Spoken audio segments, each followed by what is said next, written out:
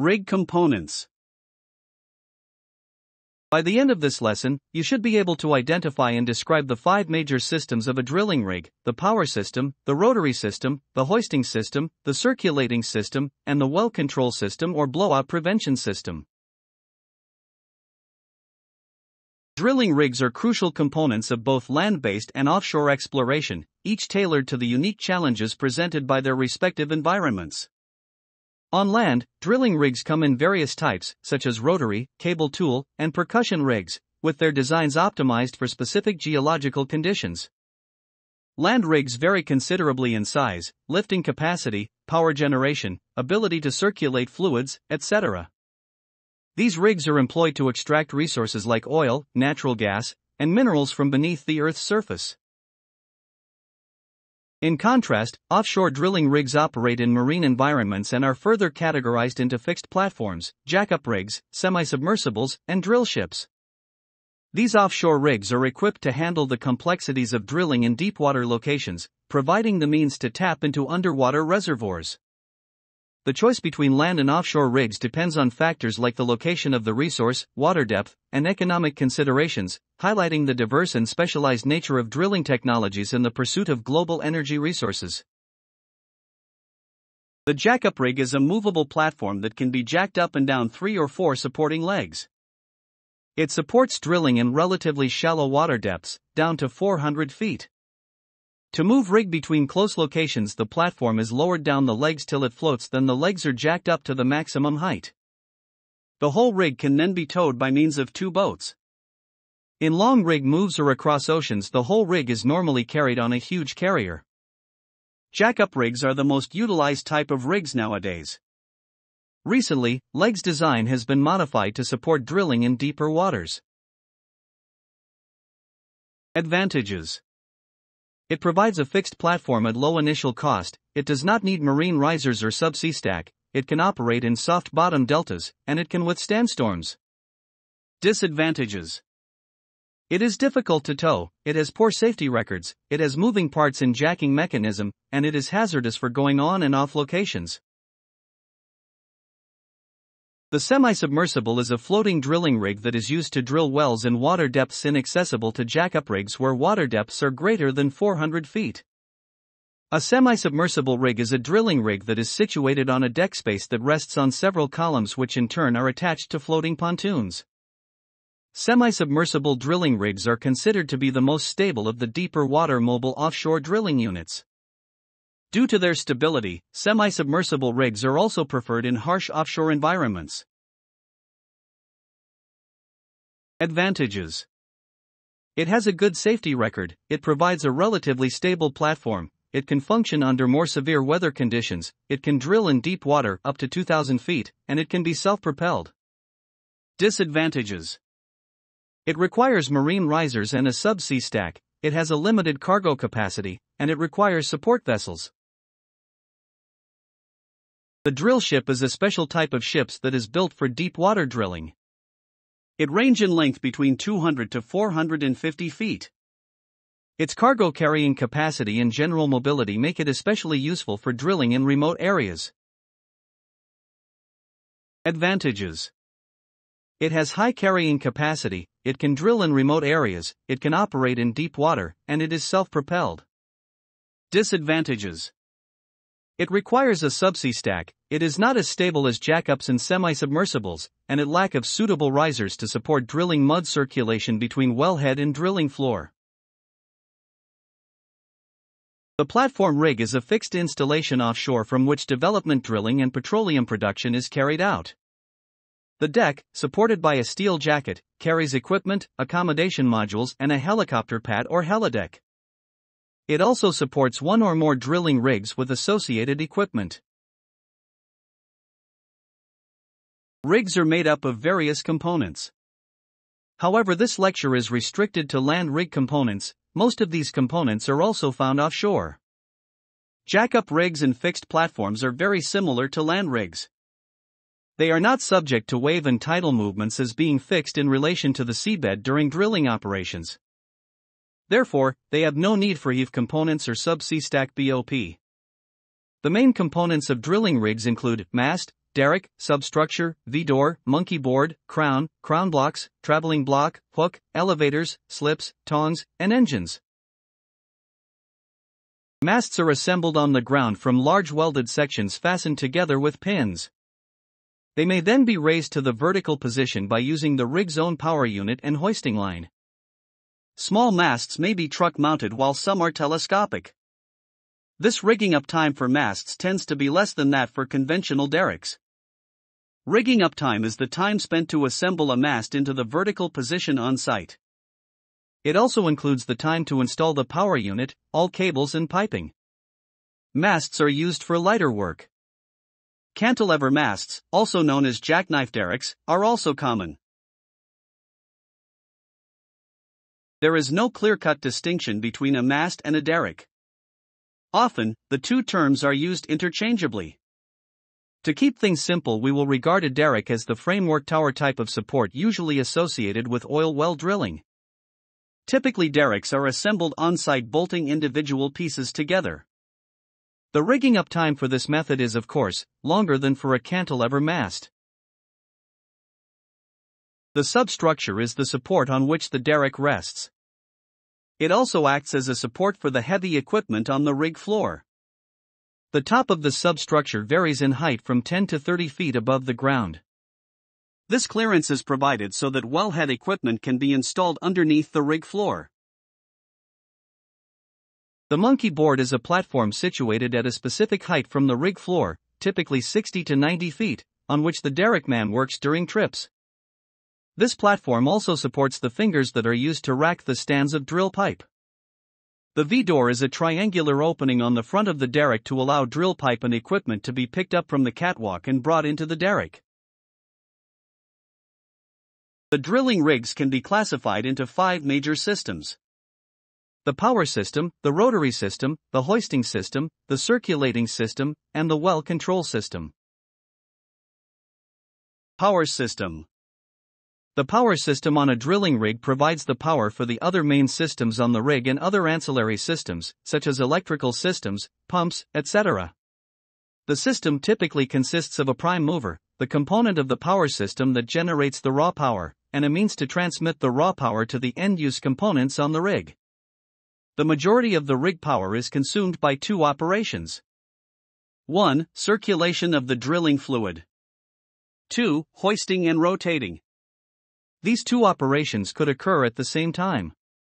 The power consumption of the circulation system is essentially constant, wherein the hoisting the prime movers must be capable of handling highly variable loads at rapid acceleration over a wide range of speed and torque.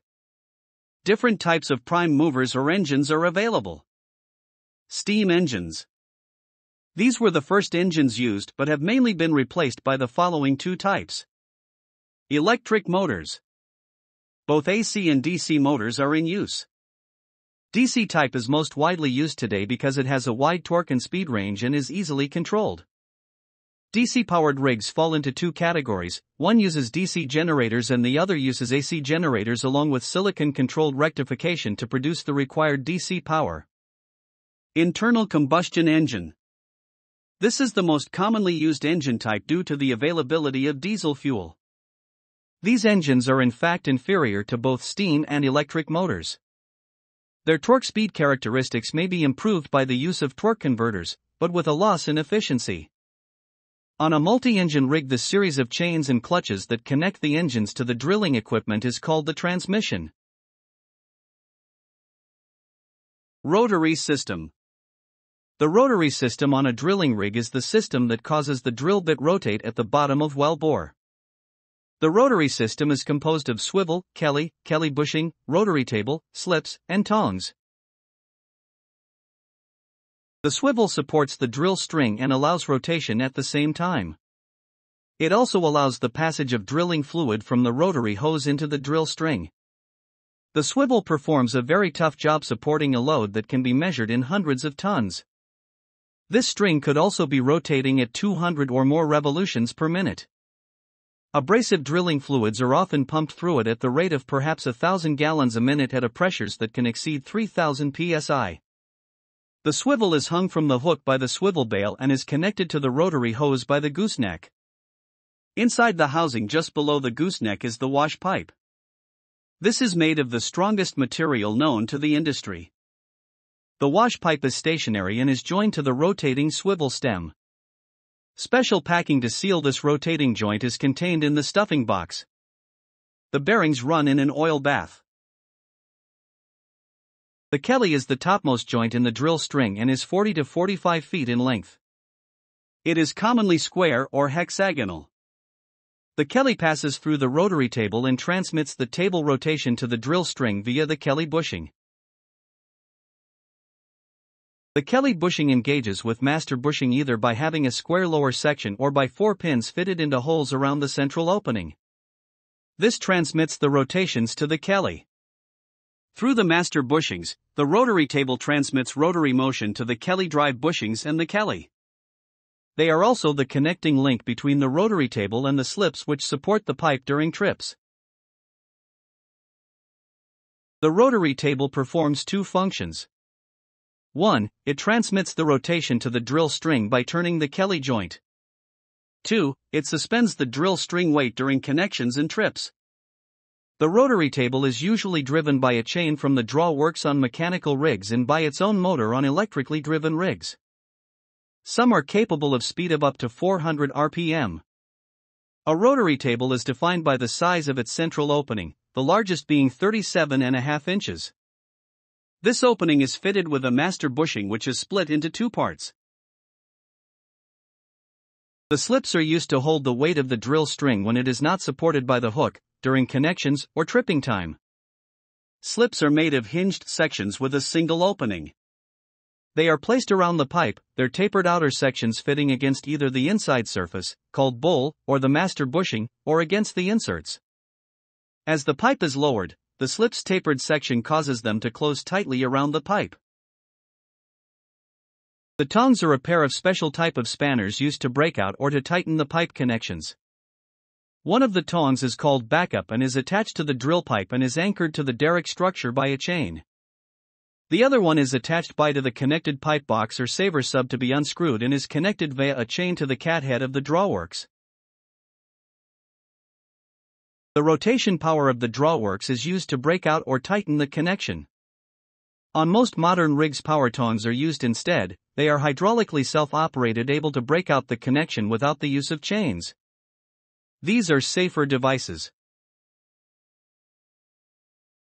Hoisting System The hoisting system on a drilling rig does the heavy lifting on the rig. It is used to raise, lower, and suspend the drill string and lift casing and tubing for installation into the well. The hoisting system is composed of crown block, traveling block, drilling hook, elevators, drilling line, and draw works. The top of the derrick is known as the crown, it is usually a small platform designed to carry the crown blocks. The crown blocks are the uppermost set of sheaves on which the drilling line is strung, most crowns of recent manufacture have from 4 to 6 sheaves. The traveling block is merely the traveling pulley, or sheave, assembly that is slung from the crown blocks by the drilling line. It connects the drilling line to the hook and swivel. The hook is suspended directly from the block. It is composed of a main hook which carries the swivel bale and two smaller offset hooks carrying the elevator arm bales. The hook can rotate in the axis of the traveling block, limited by a lock device, it is also sprung. Two elevators are hung from the hook on the elevator bales and are used for latching around the drill pipe in order to lift it. Elevators are of many slightly differing designs and sizes for use with different pipe sizes, drill collar, and casing sizes. They are not used during the drilling operation but are necessary for lifting the pipe during a trip. The drilling line affords a means of handling the loads suspended from the hook during all drilling operations. Where dictated by high load requirements, premium grade lines with an independent wire rope center are used. The drilling line runs from the main drum up to the crown blocks and down to the traveling blocks. The line is slung several times around the blocks. From the crown blocks, the line goes down to the drill floor where it is attached to the anchor. This section of the line is known as the deadline since it is stationary. The pulley system in a land drilling rig plays a pivotal role in facilitating the efficient and controlled movement of the drilling line. Comprising a series of interconnected pulleys, this system is intricately designed to support the hoisting operations involved in drilling. The drilling line, a robust cable, is threaded through these pulleys, creating a network that enables the lifting and lowering of the drill string and other drilling components. The pulley system's mechanical advantage allows for the application of force with reduced effort, enhancing the overall effectiveness of the drilling process. Rig operators can manipulate the tension and speed of the drilling line through the pulley system, providing precise control over the descent and ascent of the drill string, contributing to the rig's operational safety and efficiency. The strength table of the drilling line serves as a crucial reference in assessing the cable's load bearing capacity and durability during drilling operations. This concise table provides detailed information on the tensile strength, weight, and other essential characteristics of the drilling line, offering a comprehensive overview of its performance capabilities. Rig operators rely on this data to ensure the safe and efficient execution of drilling activities, making informed decisions based on the specific demands and constraints of each operation. The sheave efficiency table is a key resource for evaluating the performance of the pulley system on a drilling rig. This succinct table outlines the efficiency ratings of individual sheaves within the system, shedding light on their ability to minimize friction and optimize mechanical advantage during lifting operations. Rig personnel utilize this information to make informed decisions on sheave selection and configuration, aiming to maximize efficiency and minimize energy loss in the overall hoisting process. The sheave efficiency table serves as a valuable tool in enhancing the rig's lifting capabilities, contributing to smoother and more productive drilling operations. The top drive is a specially designed electric or hydraulic motor installed on the drill lines that replaced Kelly and Kelly bushing and it rotates the string as well. Using the top drive enables drilling to be carried out stand by stand instead of joint by joint. This reduces the number of connections to be made while drilling. Unlike the Kelly, top drive is not removed during trips. The drawworks is the control center from which the driller operates the rig. It contains the clutches, chains, sprockets, engine throttles, and other controls that enable the rig power to be diverted to the part of the operations at hand. It also houses the drum that spools the drilling line during hoisting operations and allows feed off during drilling. A brake is used by the driller to control the speed of the drum while operations. Drawworks are commonly designated by horsepower and depth rating. Circulating system. The circulation system on the rig is the system that allows for circulation of the drilling fluid or mud, down through the hollow drill string and up through the annular space, between the drill string and wellbore. It is a continuous system of pumps, distribution lines, storage tanks, storage pits, and cleansing units that allows the drilling fluid to fulfill its primary objectives. The mud pumps of the circulation system and the drawworks of the hoisting systems are the two largest draws on the power from the power system. The circulating system is composed of mud pits, mud pumps, Kelly hose, drill string, solids removal equipment, and degassers.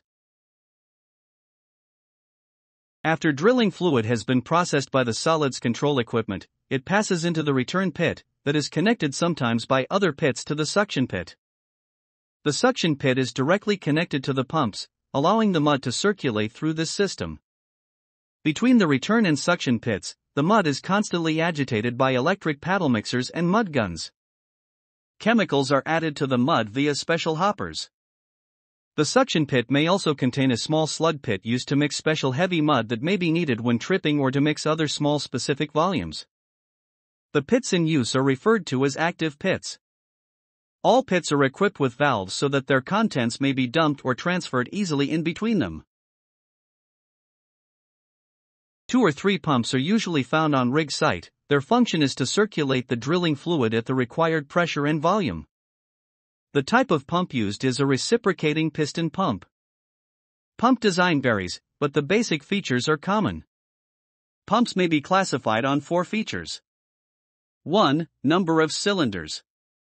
Normally pumps have either two or three cylinders and are known as duplex and triplex respectively. 2. Pumping action. Double acting pumps means that both sides of the piston are used for pumping, i.e., the piston is filling one side of the cylinder while fluid is being discharged on the other side. Usually, duplex pumps are double acting. This type of pump can be easily recognized by a valve systems at both ends of the cylinder. On single acting pumps, only one side of the piston is used for pumping, that is, the cylinder is then filling or discharging. Triplex pumps are usually single acting recognizable by having a valve system at one end only. 3. Piston stroke. This obviously is related to the output of the pump. It is fixed and cannot be changed. The longer the stroke of the piston, the greater the pump output. 4. Cylinder diameter, or liner size. Each cylinder is equipped with a removable sleeve or liner. A pump, although a fixed stroke length, has a whole range interchangeable liners of different diameter available, allowing for different pressure slash volume ranges with changing hole conditions. Orally, the smaller the liner diameter, the smaller the volume pumped on each stroke, but as the liner walls are thicker, more pressure is available. There are usually two to three pumps on a drilling rig. They are always of the positive displacement type. In other words, plunger pumps rather like a bicycle pump. Two pump types are available duplex, double acting, or triplex, single acting. The duplex pump has two cylinders. Each cylinder has two suction and two discharge valves. As the piston moves through the cylinder, it is discharging mud in front at the same time as mud is filling the cylinder behind.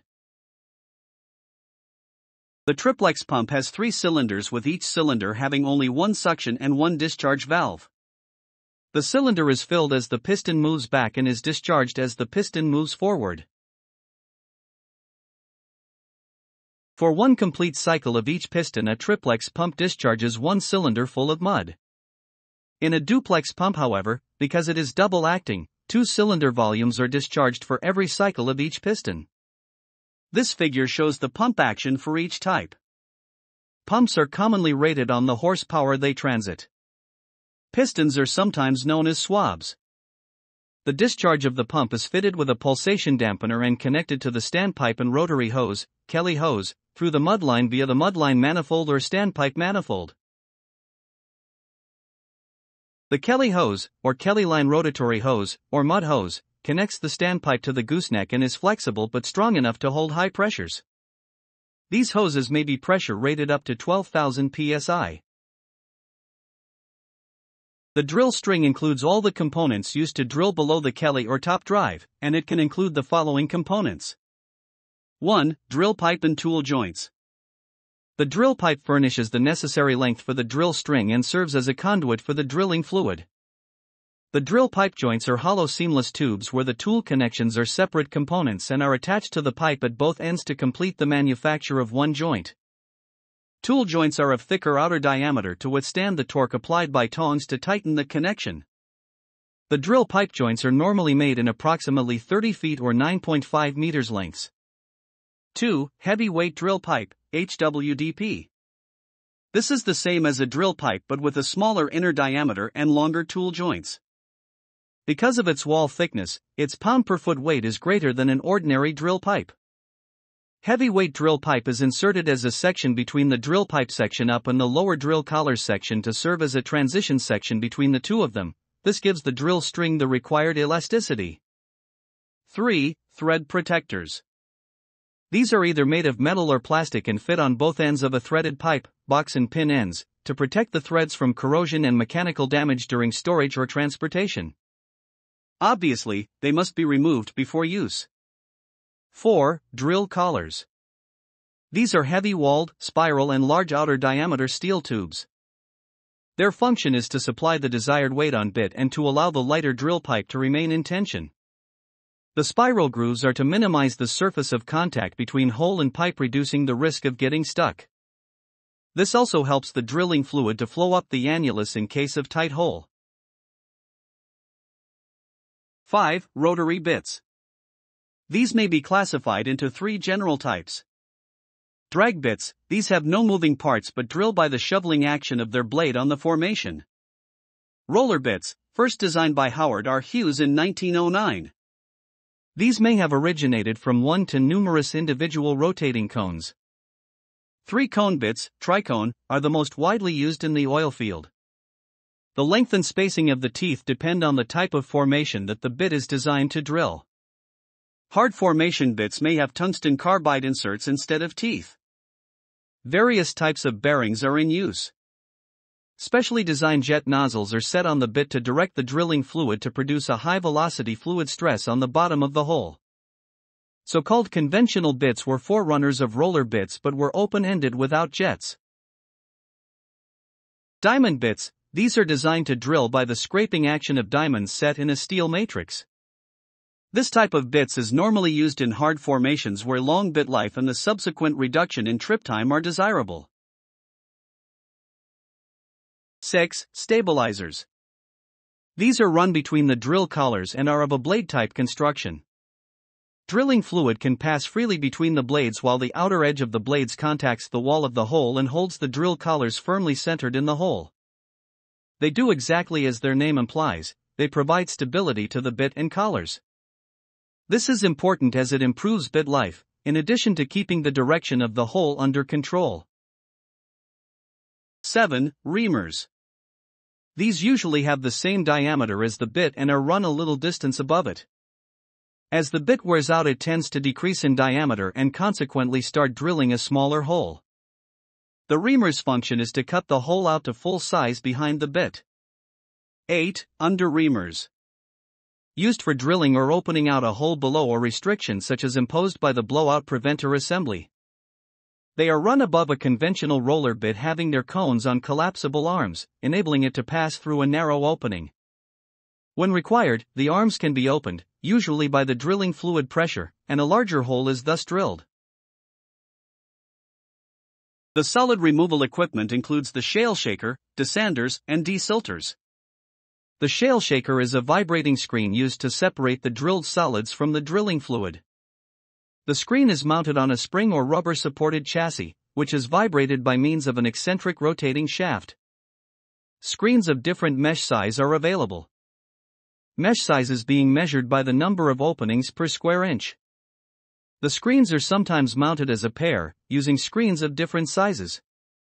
In double deck shaker, mud returning from the well core comes down the flowline and into a surge tank, sometimes known as the possum belly or shaker header box. This allows a smooth flow of mud onto the screens. The shakers are usually situated over a sand trap, which is a narrow pit with sloping sides terminating in a valve. It is used to trap fine sand that may pass through the shaker screens. This pit must be dumped out periodically. The desanders and desilters remove particles from mud, which were not removed by the shakers or the sand trap. This separation is accomplished by utilizing centrifugal force. The equipment is essentially a series of cones mounted on a manifold, mud is pumped into the manifold and enters the cone. The mud swirls round the inside of each cone, this rotating action causes the lighter fluids to come to one center and rise out of a hole in the top, whereas the heavier soils go to the outside of the cone and sink down it and out of an opening in the bottom. These units are operated at low pressure, 30 to 40 psi, but can handle high volumes, typically 250 gallons per minute per cone. The difference between desanders and desilters is mainly in the size of the cones. The smaller the cones, the smaller the particles that it separates. The degassers separate the gas that may be trapped in the drilling fluid. The principle of operation is essentially the same even though the design varies. The mud is either passed over a series of baffles or caused to swirl round in a bowl. Both actions cause the mud to break up, resulting in the greatest surface area possible for the gas to break out. In the swirling action, the mud is spread very thinly over a surface. In addition to the increased surface area, some degassers apply a slight vacuum. This aids in the separation as the gas or air bubbles expand and break out of the fluid more easily.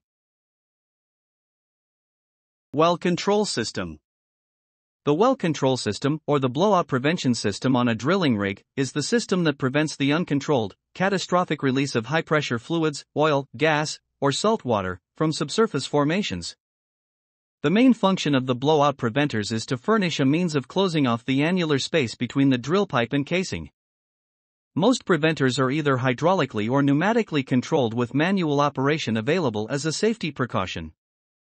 Blowout preventers are rated according to their working pressure and their inner diameter. There are many design variations of BOP, however, they fall essentially into two categories annular preventers and ram preventers.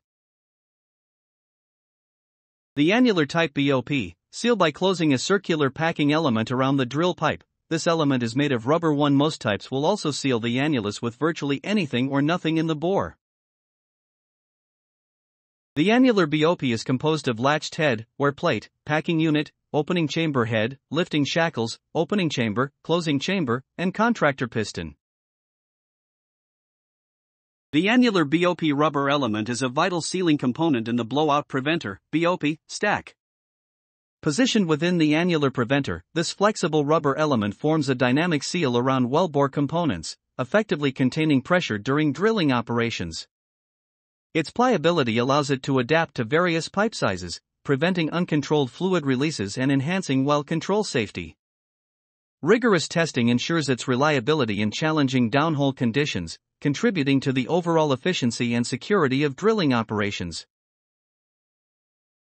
The ram type BOP derive its name from the hydraulic cylinders and ram shafts that move the two sealing ram blocks. Unlike annular preventers, this type will only seal around a specific pipe size, to accommodate different pipe sizes, the ram elements are changeable. A set of rams and annular preventers, when assembled, is known as the blowout preventer stack, commonly referred to as the stack or BOP. The ram type BOP includes BOP body, piston, piston rod, rams, and sealing rubbers. The blowout preventer stack arrangement is a critical component in oil and gas drilling operations, designed to ensure well control and prevent uncontrolled releases of hydrocarbons. This arrangement involves the strategic placement of blowout preventers in a stacked configuration, typically comprising annular and ram type preventers. The BOP stack serves as the last line of defense against well blowouts by sealing the wellbore in various scenarios. The arrangement is carefully engineered to provide a systematic and reliable response to different well control situations, enhancing safety measures in the exploration and production of hydrocarbons. The drilling rig choke manifold is a vital assembly that plays a central role in controlling and regulating wellbore pressure during drilling operations. Positioned near the rig floor, the choke manifold is comprised of valves and chokes that manage the flow of drilling mud and fluids. This arrangement is essential for adjusting pressure levels within the wellbore, preventing blowouts, and ensuring the safe execution of drilling activities. Rig personnel use the choke manifold to fine tune the wellbore pressure by adjusting the choke valves, enabling precise control over the circulation of drilling fluids. The choke manifold's strategic placement and functionality are integral to maintaining well control and safeguarding the integrity of the drilling process. Thank you for your attention. Please hit like and subscribe to our channel in order to help us produce more content like this one. See you in the next video presentation.